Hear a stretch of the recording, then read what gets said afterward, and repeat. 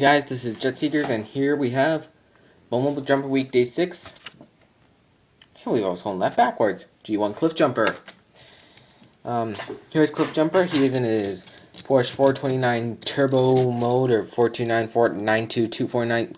Some formulation of the numbers 2, 4, and 9. Yeah, but he has the keychain, and he doesn't have any stickers. But it looks nice. Mm, for comparison, um, yeah basically what I got. So, um, well, for a size comparison, here's Seaspray. Promise I'll review this guy sometime soon. Yeah, so there he is. Seaspray. Um, so to transform him, pull out the arms first. Very important too because of the way they're designed. Um, pull out the legs, flip them forward, flip up the head. Cartoon head, yeah. And there you have Cliff Jumper in robot mode. So yeah, he's very small, Inart um, sort of inarticulate. He does have arms, and he can rock out to stand bush.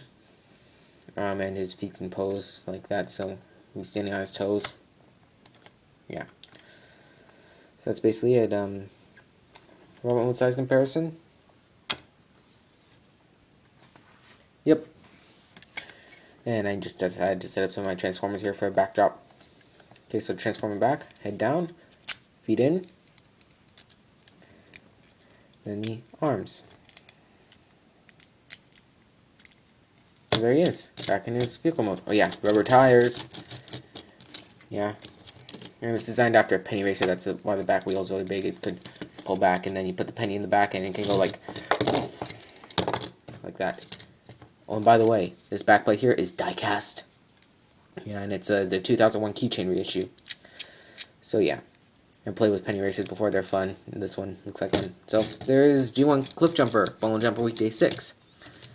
And next we have Day 7. Much sought after, G1 Bumblebee.